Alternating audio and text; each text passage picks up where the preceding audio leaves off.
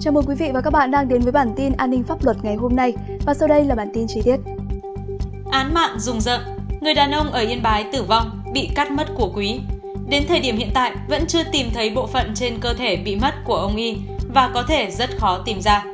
Trong khi đó tại An Giang, hung thủ sát hại chị nuôi rồi lấy tiền vàng dẫn bạn gái đi du lịch ở Đà Nẵng. Cơ quan Cảnh sát điều tra Công an tỉnh An Giang cho biết vừa triển khai tổ chức thực nghiệm điều tra vụ án giết người và cướp tài sản. Phía Công an An Giang thông báo đã bắt được đối tượng truy nã nguy hiểm trốn ở Phú Quốc vì tội cố ý gây thương tích. Nguyên nhân ban đầu do mâu thuẫn trong lúc chơi game bắn cá với bị hại.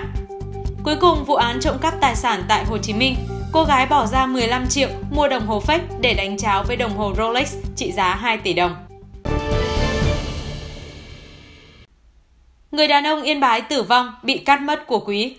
Ông Y được phát hiện tử vong ở bếp trong trạng thái mất của quý, cảnh sát đang điều tra nguyên nhân. Sáng ngày 13 tháng 10, ông Tăng Thành Công, Chủ tịch Ủy ban Nhân dân xã Hán Đà, huyện Yên Bình, tỉnh Yên Bái cho biết, hiện Công an tỉnh Yên Bái và Công an huyện Yên Bình đang tích cực điều tra làm rõ sự việc trên. Theo ông Công, khoảng 19 giờ ngày 12 tháng 10, người dân thôn Phúc Hòa phát hiện thi thể của ông PDI, sinh năm 1971, xã Hán Đà, huyện Yên Bình, ở trong bếp tại nhà riêng trong tình trạng mất của quý. Ngay sau khi sự việc xảy ra, lực lượng công an đã nhanh chóng có mặt tại hiện trường, phong tỏa, khám nghiệm để điều tra xác minh. Đến thời điểm hiện tại, vẫn chưa tìm thấy bộ phận cơ thể bị mất của ông Y và có thể rất khó tìm ra. Ông Y có một vợ và hai con, hiện cả vợ và con của ông Y đang ở Bệnh viện Việt Đức, Hà Nội vì có một cháu bị tai nạn từ trước đó. Ông Công cho biết. Cũng theo lãnh đạo xã Hán Đà, tại địa phương, ông Y là người sống hòa thuận với mọi người, chưa có điều tiếng gì xảy ra. Bình thường, ông Y hay uống rượu, nên trước khi đi bệnh viện Việt Đức, vợ con ông có căn dặn nhờ hàng xóm để ý tới nạn nhân. Sát hại chị nuôi lấy tiền, vàng rồi dẫn bạn gái đi du lịch. Sau khi sát hại nạn nhân, Trường lấy 3,5 lượng vàng và hơn 100 triệu đồng rồi bỏ trốn khỏi An Giang. Hung thủ bị bắt giữ khi đang ở Đà Nẵng. Ngày 12 tháng 10, Cơ quan Cảnh sát điều tra Công an tỉnh An Giang cho biết vừa triển khai tổ chức thực nghiệm điều tra vụ án giết người và cướp tài sản xảy ra tại xã Tân Phú, huyện Châu Thành, tỉnh An Giang. Theo kết quả điều tra ban đầu, Lê Lâm Trường sinh năm 1995, ngụ xã Tân Phú, huyện Châu Thành, được cha mẹ bà LTKA sinh năm 1986 nhận làm con nuôi từ bé. Gần đây do nghiện game, ham mê cờ bạc nên Trường thiếu nợ hơn 100 triệu đồng, từ đó nảy sinh ý định sát hại người thân để cướp tài sản.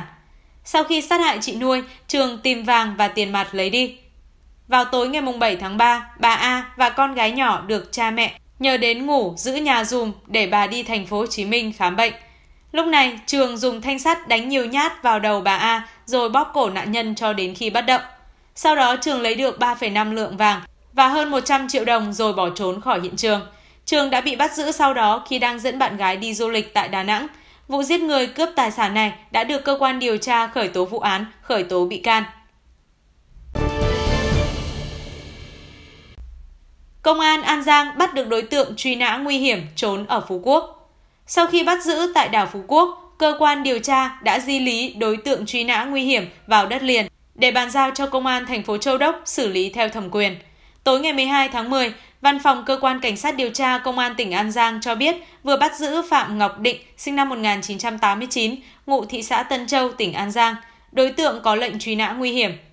Theo hồ sơ, khoảng tháng 1 năm 2019, Nguyễn Hoàng Bửu, ngụ thị xã Tân Châu, trong lúc chơi game bắn cá đã xảy ra mâu thuẫn với chị Nguyễn Thanh Tùng, chủ tiệm game ở thành phố Châu Đốc, tỉnh An Giang.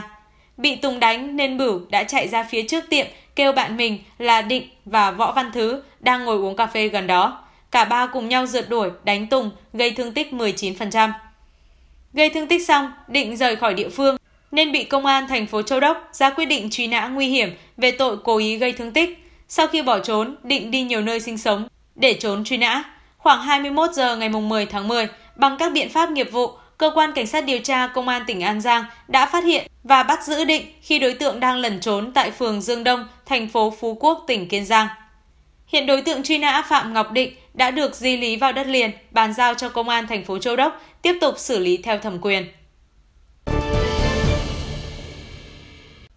Dẫn bạn gái quen qua mạng đến nhà, chàng trai mất luôn đồng hồ Rolex trị giá 2 tỷ đồng.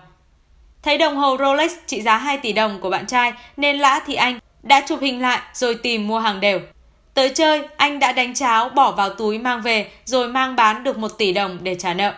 Ngày 12 tháng 10, Công an quận 3 phối hợp cùng Phòng Cảnh sát Hình sự Công an thành phố Hồ Chí Minh cho biết vừa điều tra vụ trộm cắp tài sản trị giá 2 tỷ đồng ở khu vực. Hiện đối tượng Lã Thị Anh sinh năm 1990, ngụ thành phố Hà Nội, trú quận 7, thành phố Hồ Chí Minh, cùng tang vật đã được bàn giao cho Phòng Cảnh sát Hình sự Công an thành phố Hồ Chí Minh tiếp tục xử lý theo quy định. Trước đó, giữa tháng 9 năm 2021, anh Nguyễn Minh Tân sinh năm 1997, ngụ quận 3, tới công an trình báo về việc bị mất một chiếc đồng hồ Rolex trị giá 2 tỷ đồng tại căn nhà trên đường Võ Văn Tần, phường Võ Thị Sáu. Công an đã có mặt khám nghiệm hiện trường, lấy lời khai các nhân chứng, điều tra.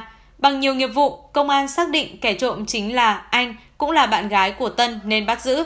Qua làm việc, anh khai nhận trước đó do cần tiền đầu tư tiền ảo nên đã mượn khoảng 1 tỷ đồng để đầu tư. Cùng thời gian này, thông qua mạng xã hội, anh quen với anh Tân và nhiều lần trò chuyện phát sinh tình cảm.